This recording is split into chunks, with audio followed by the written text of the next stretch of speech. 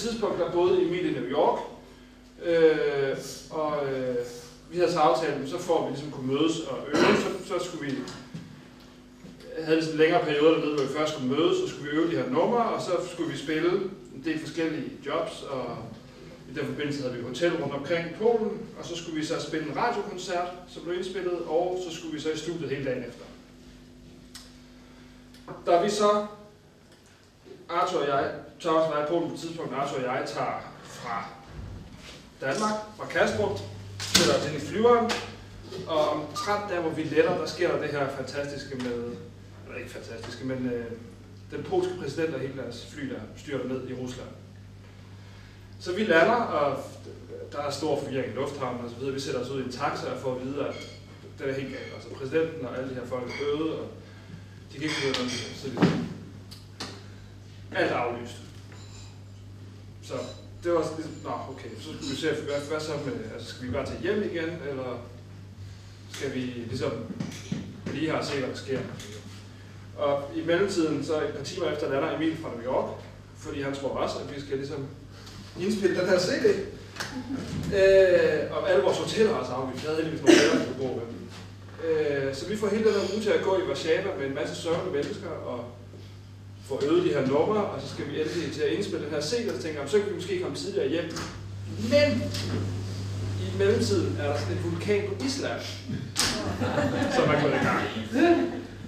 Så lige pludselig sidder vi fast i taget og kan ikke komme ud. Så i stedet for ligesom at tage en 20 minutters taxatur til lufthavnen, halvanden time til Kastrup, og så tog hjem, så blev det sådan noget med, øh, Arthur og jeg tog øh, et tog tre timer den vej, så ventede vi i syv timer, så tog vi et tog otte timer den vej, så ventede vi i 8 timer cirka også på sådan en gut, som vi så kunne køre med syv timer den vej for at lande i Odense.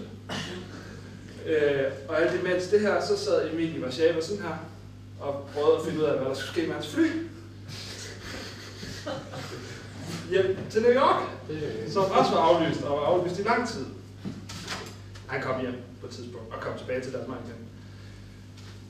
Rigtig meget af det, alt det her, det kom ud på den her CD, som man kan købe for kun 50 kroner. øh, så det var en meget, meget spændende, øh, anderledes, det kalder det, anderledes tur. Rasmus med gik i vask. Ja, men Og derfor, derfor,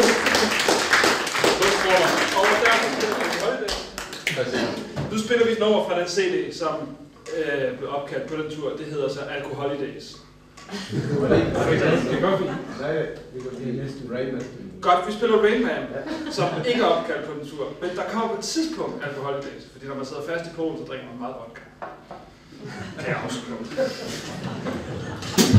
Rain Man, Thomas. Sætter du den op? Sætter du den op? Sætter du den op?